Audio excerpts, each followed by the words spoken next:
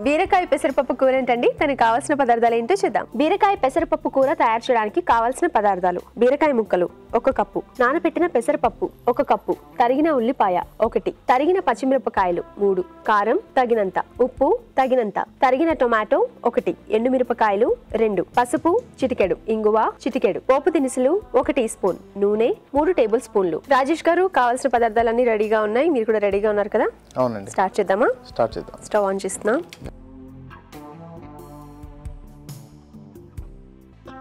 Okay. ముందుగా ఏం చేయాలి? ముందుగా కొంచెం ఆయిల్ వేసుకుందామండి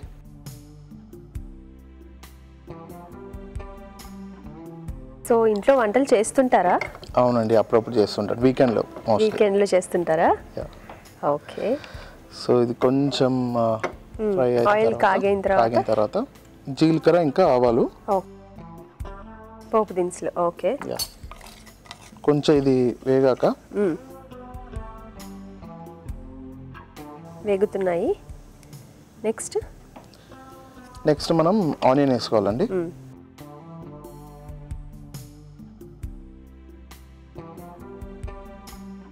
తర్వాత పచ్చిమిర్చి. సో కారం ఎక్కువ తింటుంటారా ఇంట్లో? అవునండి. అవునా? ఓకే. తర్వాత ఎండుమిర్చి కూడా ఉన్నాయి. రెండు. అలాగే కొంచెం ఇంగువ. ఇంగువ. ఓకే. సో మీ వారు వంట చేసినప్పుడు మీరు హెల్ప్ చేస్తుంటారా? మీకే హెల్ప్ చేస్తుంటారా మీ వారు? నాకు కూడా హెల్ప్ చేస్తుంటారు. ఆహా.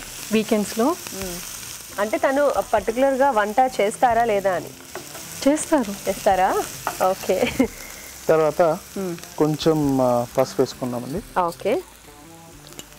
మీరు ఏ రెసిపీ బాగా చేస్తారండి? మామూలుగా ఇట్లా లైట్గా ఉండే ఐటమ్స్ చేస్తానండి ఎప్పుడన్నా. ఎందుకంటే పెద్ద పెద్ద ఎక్కువ రావు పెద్ద అంటే మీ దృష్టిలో ఏంటి? అంటే ఇప్పుడు నాన్ వెజ్ కానీ లేకుంటే పెద్ద ఏదైనా కర్రీ కానీ అట్లాంటివి. ఓకే. సో అల్లం వెల్లుల్లి పేస్ట్ వేస్తున్నారు నెక్స్ట్ తర్వాత అల్లం వెల్లుల్లి పేస్ట్ చేసుకున్నామండి సో అల్లం వెల్లుల్లిపై పేస్ట్ వేసుకున్నాము. అవునండి. వేసుకున్న తర్వాత బాగా కొంచెం దొరగా వేయించేసుకొని ఓకే. సో నాకు ఒక విషయం అర్థమైంది సుధా గారు. మీ వారు ఏం చేసినా అంటే ఏ పని చేసినా నాకు తెలియదు కానీ వంటలు మాత్రం చాలా నిదానంగా పర్ఫెక్ట్గా చేస్తున్నారు. అన్ని పనులు అంతేనా? ఆ, లేదండి. ఆహా. తను నెమ్మదిగా చేస్తున్నారు ఇప్పుడే. ఇప్పుడే నెమ్మదిగా చేస్తున్నారు చాలా ఫాస్ట్గా? చేస్తారు. ఓ ఇప్పుడు చాలా జాగ్రత్తగా ఆడియన్స్ కూడా చూపిస్తున్నారు కదా వంట అందుకే కొంచెం ప్రాసెస్లో పర్ఫెక్ట్గా చేస్తున్నారు అనమాట తర్వాత అండి ఇప్పుడు మనం దీంట్లోకి పెసరపప్పు వేసేసుకుందాము ఇదేంటి పెసరపప్పు నానబెట్టారా? నానబెట్టిన తర్వాత పెసరపప్పు వేసుకుందామండి. సో నానబెట్టిన పెసరపప్పు.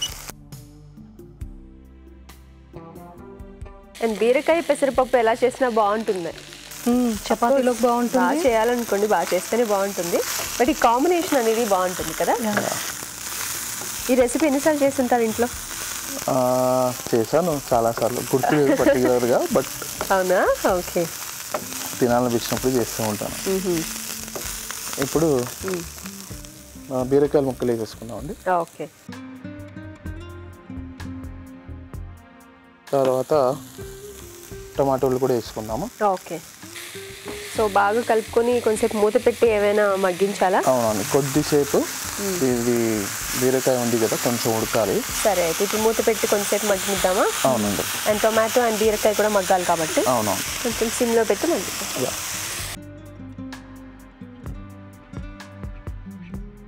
రాజేష్ గారు ఉడికిందేమో చూద్దామా? చూద్దామండి. బాగా ఉడికినట్టుందిగా? అవునండి ఉడికింది. దీంట్లో ఇప్పుడు సాల్ట్ వేసుకుందాం కొద్దిగా. ఓకే.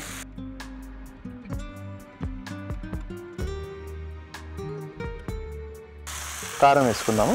ఓకే. కొద్దిగానే వేసుకుందాం ఎందుకంటే ఆల్రెడీ పచ్చిమిరపకాయలు అవును. వేసాం కాబట్టి. ఓకే.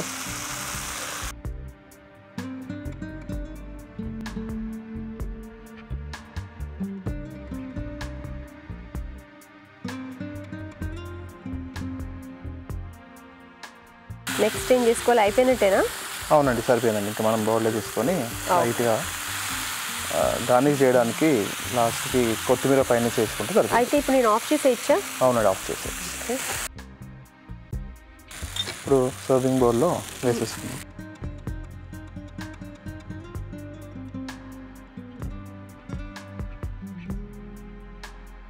సో మొత్తానికి మీ వారు వంట ఫినిష్ చేసేసారు. ఎలా చేశారు అనుకుంటున్నారు చాలా బాగా చేశారు. చాలా బాగా చేశారా? ఏంటి అంత అంత కాన్ఫిడెంట్గా చెప్తున్నారంటే ఇంట్లో కన్నా ఇక్కడ బాగా చేశారా? అవును. అవునా? ఇంట్లో ఎలా చేస్తారు రాజేష్ గారు?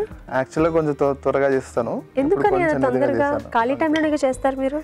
కరెక్టే కొంచెం త్వరగా చేసి కంప్లీట్ చేసి కూర్చుందామని ఓ.